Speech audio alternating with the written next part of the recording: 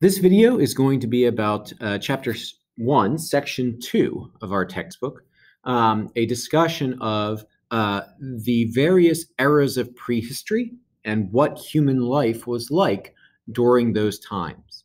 Before we talked about in chapter 1.1 how we got to human beings, Homo sapiens. Um, now we're going to talk about what their lives were like in this era that we call prehistory.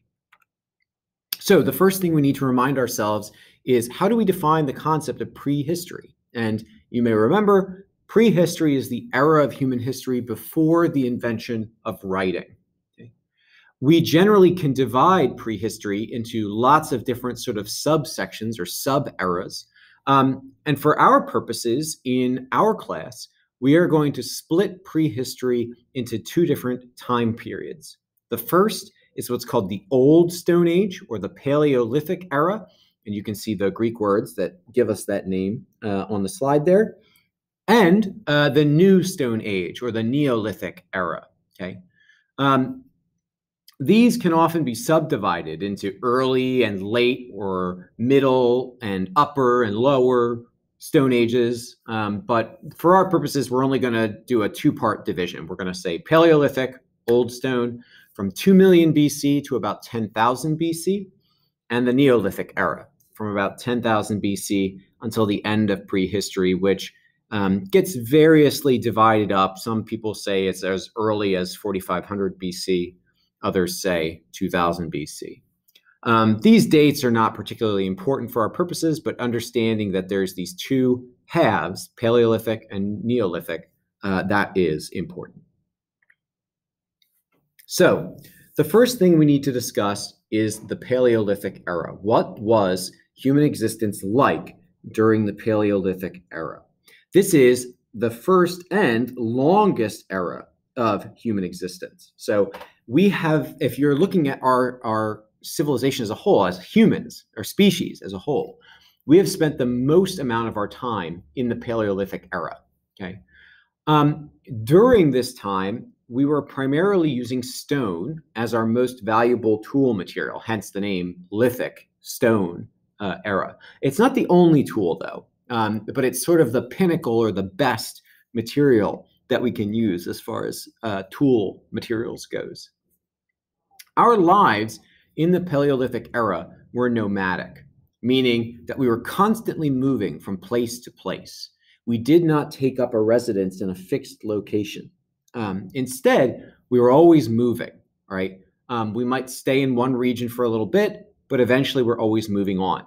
And the reason we were moving was because we were always following our food, whether that means uh, animals, which are literally moving from place to place as they follow their food, or whether we would use up the plant resources in an area and then have to move on to find new plant resources that hadn't been harvested before. So our nomadic uh, ways were primarily due to our need to constantly move to find food. Okay. Humans didn't live by themselves in this era. Uh, they lived with other humans. Um, and typically, those groups would be of about 20 to 30 other people. So, 20 to 30 humans working together as they move from place to place to place. The possessions uh, that humans had were very few and very light. The reason being that the more stuff you have, the harder it is to be mobile. Um, so having very few possessions and having uh, possessions that were very easy to carry made it a lot easier for uh, you as a nomadic society to be moving around. Um, we do know that while um, uh, we are often moving around, we didn't just sort of sleep out under the open sky all the time. Um, early humans would live in uh, their own structures that they would build, um, uh, temporary structures, or um, they would find uh, like a cave or a, a place where um, uh, they would be able to sort of temporarily stay without having to do the hard work of setting things up for themselves. Um, it's important to note that the stereotype of cavemen is not really true. The idea of humans permanently living in caves. Um, we may have stayed there temporarily as a as a piece of convenience, um, but once our food ran out in that area, we didn't have any reason to stick around in that area. So um, uh, the idea of cavemen is a bit of a misnomer. Humans during the Paleolithic era eventually developed language. Um, we have some evidence for them learning to sail, uh, uh, as in from place to place on the ocean. Probably not deep sea sailing, but just sailing close to the shore, probably. Uh, we see evidence of a religious system, which we'll get into in a little bit. Um, and we see uh, that the primary means of living was what we would now call a hunter gatherer lifestyle, which we'll talk about now.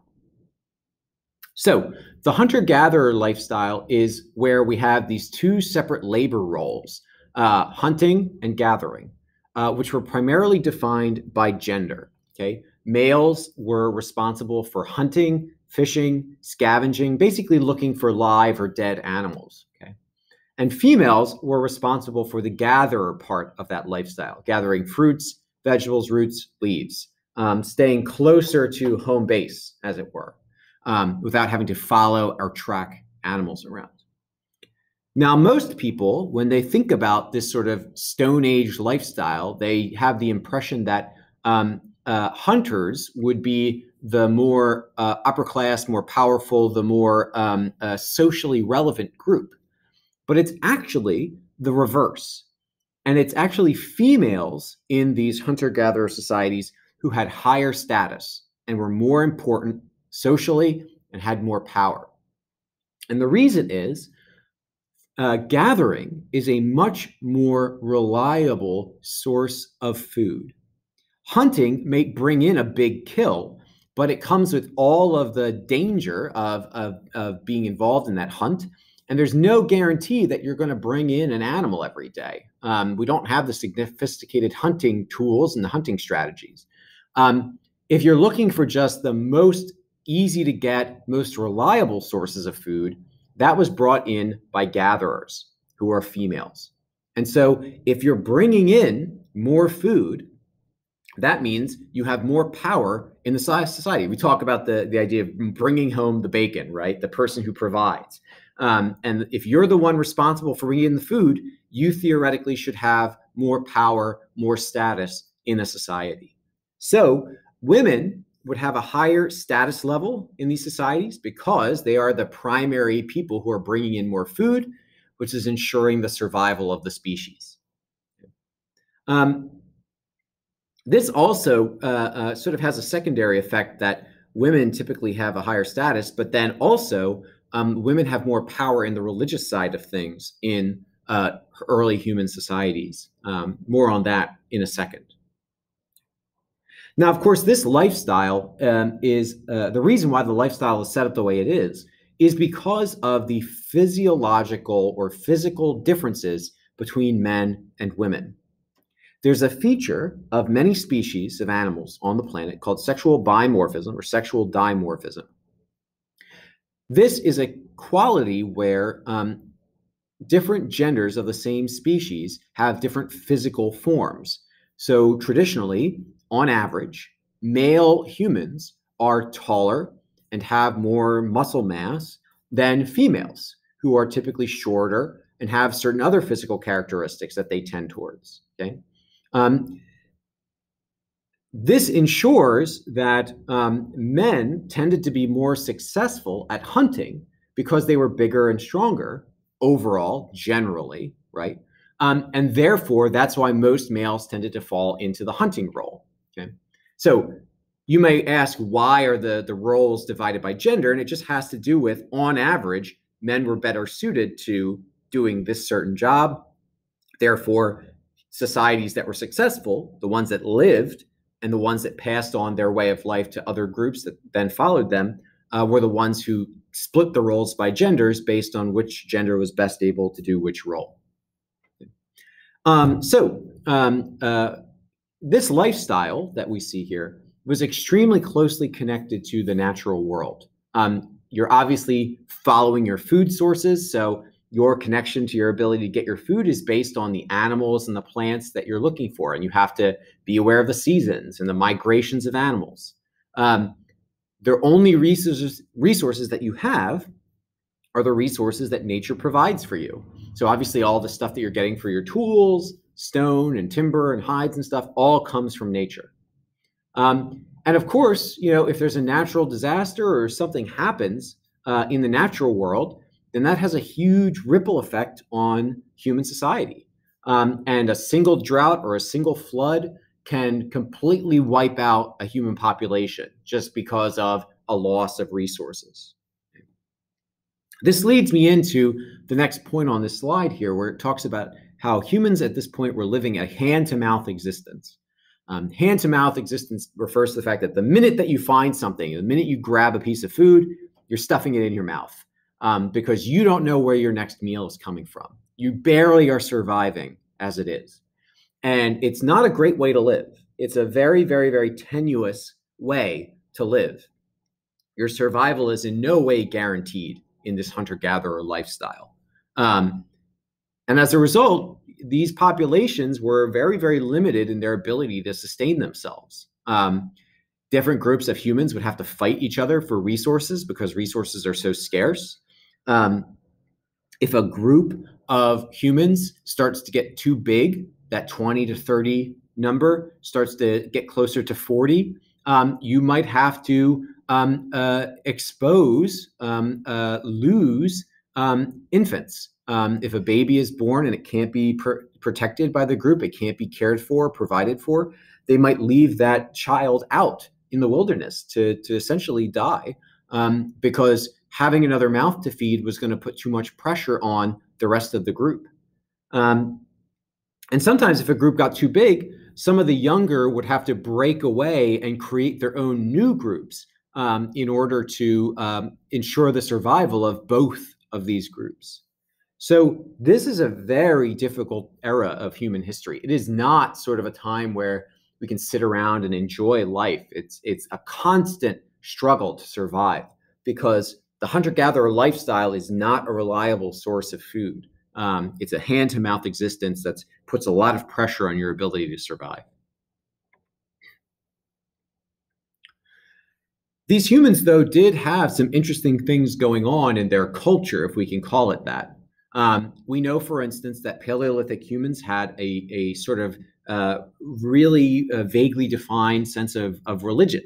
Um, they engaged in ceremonial burial. They would bury their dead with items, with grave goods, stuff. Um, and of course, that points to the fact that they must have been thinking about death and the afterlife, right? Why would you bury um, some other human with an object that you could use as a tool for yourself? Well, the answer is you must think that that person, that dead person, needs this for some reason um, in the afterlife. Um, or at the very least, you think that they need to be honored in some way. We know that they believed in a form of religion that was called animism, um, which comes from the Latin word anima, which means something like spirit. Um, and basically, this boiled down to the idea that everything in the world tree, rock, river, animal had some kind of spirit that was associated with it.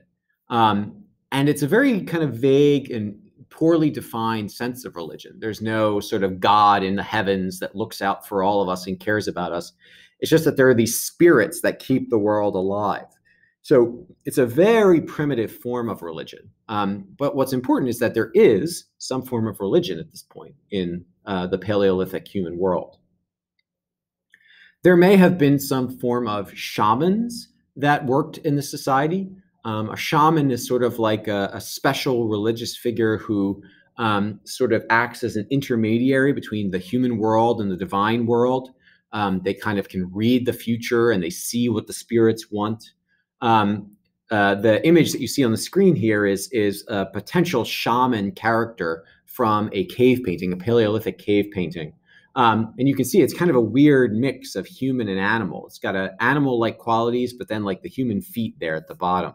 Um, so a character that kind of can commune with the spirits of the animals in the world, but also is part man, um, has some sort of mystical quality to it.